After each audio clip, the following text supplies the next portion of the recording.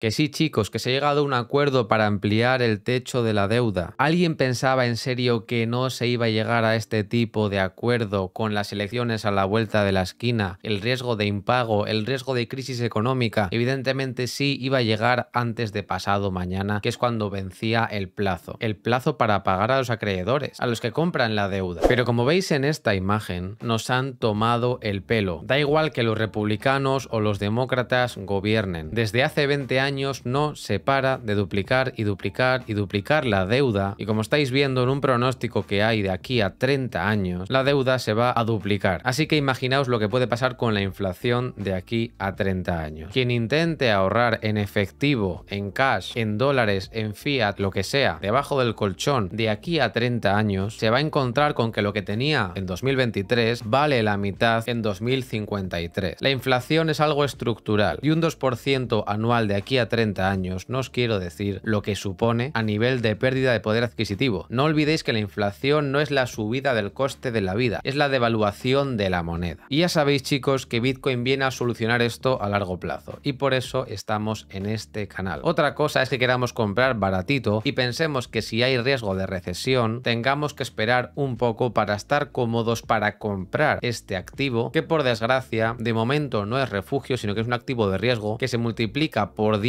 cada vez que hay un bull run y pierde el 70 y pico por ciento de su capitalización y cotización cada vez que hay una crisis. Y evidentemente yo pienso que la crisis no ha llegado, me puedo equivocar y al final podemos tener un soft landing o podemos tener una crisis y que Bitcoin se desmarque. No lo creo. Pero vamos a hablar de unas cuantas cosas para discernir dónde estamos y qué podría llegar en los siguientes meses. La semana pasada hablábamos de Commonwealth, que es un proyecto que emula un Venture Capital, un fondo de inversión privado accesible a todo el mundo. Decíamos la semana pasada que puedes elegir entre tres tipos de fondos, fondos tematizados como Metaverso, DeFi, NFTs, fondo Evergreen, Community Fund, y decíamos que una vez invertido recibimos un NFT que representa la posición. Y si por alguna razón necesitamos liquidez, se puede vender entero o fraccionado en el propio marketplace de esta plataforma de Commonwealth. Y hoy vamos a hablar de su token WLTH y de su economía circular. Evidentemente la plataforma tendrá un management fee y una comisión sobre los beneficios del 50%, de los cuales el 80% se va a la tesorería, el 10% se recompra y se da como incentivo en push de liquidez y el otro 10% se recompra y se quema. Si queremos que este 50% se deduzca, podemos comprar y estaquear WLTH, el token, para rebajarlo hasta solo un 10%. Y además con el token podrás votar en gobernanza, proponer proyectos pagar comisiones por transacción con menos comisión, etc. Ahora están en proceso de minting de la segunda colección de Genesis NFTs y muy pronto, como veis, se lanza la beta en el Q3 de este año. Y en el cuarto trimestre se abre la plataforma al público y se hace el TGE. Durante el 2024 se lanzarán todos los fondos tematizados y el más interesante, a mi manera de ver las cosas, es el fondo Evergreen que los junta todos. Y por supuesto, estoy promocionando esto porque del equipo todos doxeados y experiencia en empresas como Activision, Facebook, Google, Intel, etcétera. Así que si te interesa, tienes abajo un link para entrar en la whitelist y puedes poner que vas de parte de inversión cripto. Y como estáis viendo chicos, suscríbete si no estás suscrito a este canal, gracias, y dale un like a este vídeo. Estamos viendo que la probabilidad de subir los tipos de interés 25 puntos básicos al 5,5% el 14 de junio, la próxima reunión de la Fed, del FONC, es ya del 62 casi por ciento. Cada día que pasa aumenta la probabilidad, siendo ya lo más probable, por bastante, de que se suban los tipos 0,25%. Esto supondría que se va a tener una pausa en la subida de tipos más tarde de lo que pensamos y seguramente todo este 2023 se aguanten los tipos en el 5,5%. Evidentemente, si en noviembre, si en octubre, si en septiembre entramos en recesión en Estados Unidos, que es muy probable, los bancos centrales de todo el mundo, pero en este caso la Reserva Federal, tendrán que actuar en consecuencia bajando tipos como siempre lo han hecho. Porque como estáis viendo, el ingreso interior bruto, que es un indicador de recesión, ya está en negativo, como lo estuvo en 2001, como lo estuvo en 2008 y como lo estuvo en el COVID en 2020. Indicativo de recesión, de inminente recesión, es que ya de aquí a tres meses o menos, yo creo, de aquí a agosto-septiembre. Y acordaos que la crisis financiera de 2008 empezó en septiembre con la quiebra de Lehman Brothers después de una caída prolongada durante el verano y estamos empezando el verano. Pasado mañana es junio. Cuidado los próximos días, cuidado las próximas semanas, porque esto evidentemente evidentemente sí afecta a Bitcoin y a todos los mercados. Estáis viendo por otra parte el mayor spread entre el Russell 2000 y el Nasdaq, o mejor dicho, entre el Nasdaq y el Russell 2000. Después de que el Russell 2000 se haya desplomado, es el índice de pequeñas compañías, ya sabéis, desde la 1001 hasta la número 3000 por capitalización en Estados Unidos, y el Nasdaq se haya revalorizado por el sector tecnológico que no para de pumpear, estamos viendo que estamos ante el mayor spread entre las tecnológicas, lo que es las growth, las fan stocks también, y el Russell 2000, el índice de pequeñas compañías. ¿Qué quiere decir esto? Bueno, fácil, lo hemos hablado miles de veces, pero básicamente, ante un panorama de recesión o de problema económico, siempre caen primero los de abajo, ya sean los empleados que despide Facebook o ya sean las pequeñas empresas y compañías que sufren más los costes de financiación excesivos que hay ahora planteados por los tipos de interés y la falta de liquidez del mercado por parte de la banca privada antes que las grandes empresas. Y estamos viendo efectivamente que tenemos un problema, porque las grandes empresas siguen creciendo,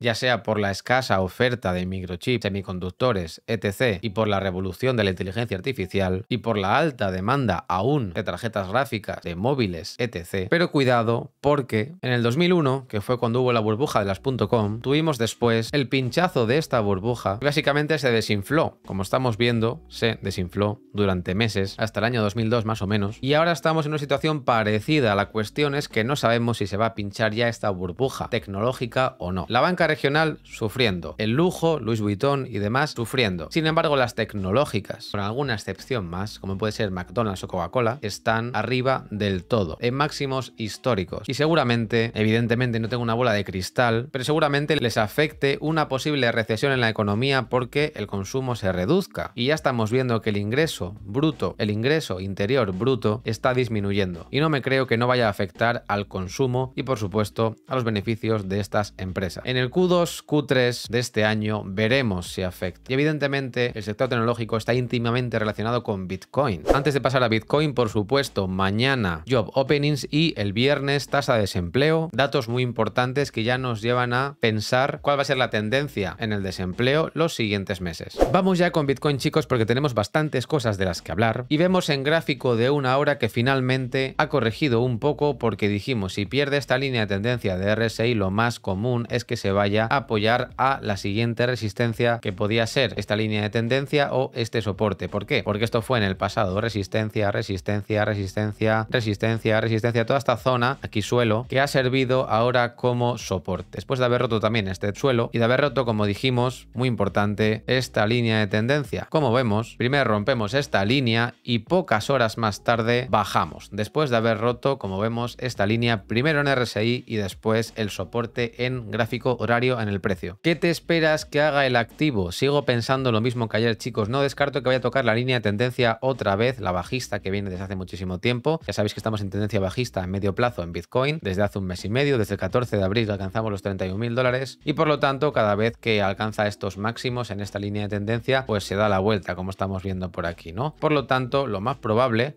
al igual que en los suelos rebota, en los techos seguramente también nos sirva de momento como resistencia. Es posible que antes de venirse a este punto se apoye en el soporte que pasa por esta línea de tendencia, pues es posible. Nos da igual que haga esto o directamente que se vaya aquí. Pero yo sigo pensando que es muy probable que llegue a esos puntos que más o menos pasarían por 28.400 de nuevo. Puede que llegue a 28.400, 28.600 y de ser así, de llegar un poco más arriba que la última vez, seguramente tendríamos una divergencia bajista porque, porque llegaríamos con menos fuerza y yo aquí sí que me pondría bastante negativo en este panorama. Seguramente aprovecharía o bien para vender en short o para plantearme simplemente un análisis más bajista en el corto plazo, ya lo veremos. El análisis ya veis que es parecido al de ayer y por lo tanto en temporalidad de 4 horas no tenemos mucho más que decir. En gráfico de un día muy parecido al análisis que tenemos hoy con el que teníamos hace una semana. Simplemente hemos subido hasta alcanzar estos techos. Hay que admitir que yo no lo planteaba como lo más probable, y hay que decirlo, pero ya sea con una rotación de nuevo a estos puntos o desde aquí mismo, que no creo, yo creo que primero alcanzaremos las cotas de las que estábamos hablando de 28.500 dólares, después nos iremos hacia abajo. Y si rompemos por fin este soporte, que acordaos que aquí cerró una vela por primera vez desde marzo por debajo de los 26.500, si rompemos hacia abajo este soporte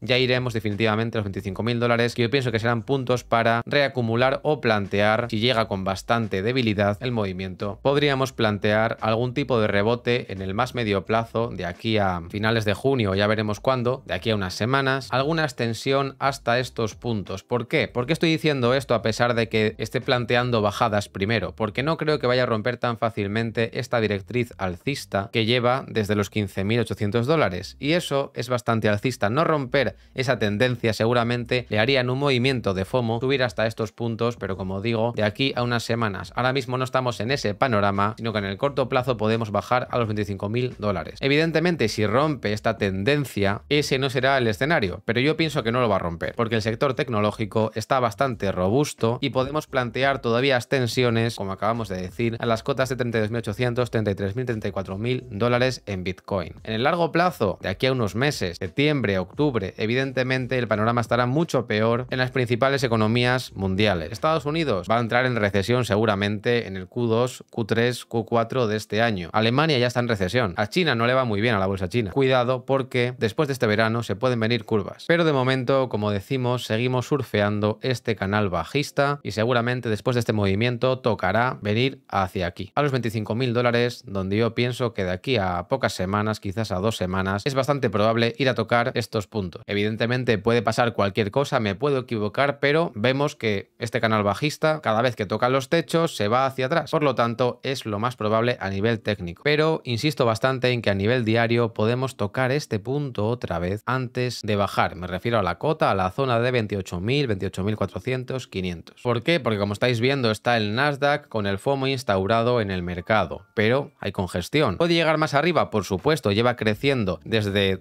principio de 2023 muchísimo, pero puede llegar incluso más arriba por puro FOMO. El FOMO, para los que no lo sepáis, es el miedo a perderse algo. Y en el caso del Nasdaq y también del SP500, pues vemos que está instaurado en el mercado desde hace ya unas semanas. Todo lo contrario al oro que está testeando pues esta línea de tendencia alcista, está bajando porque va en contra de la renta variable, el oro es refugio, no es growth. Ahora ya a nadie le interesa decir que Bitcoin sigue al oro, a nadie le interesa, qué curioso. Y el DXY sigue su camino que decíamos desde hace bastantes semanas, después de haber roto esto, hacia los 105 puntos, que yo no creo que los vaya a romper y seguramente veríamos algún tipo de retroceso en el medio plazo. Si te ha gustado este vídeo y te interesa el proyecto de Commonwealth, recuerda que abajo tienes una whitelist en la que te puedes inscribir para pedir información, saber cómo puedes invertir y puedes poner que vas de mi parte. Suscríbete y si no te los has visto, mírate mis tutoriales.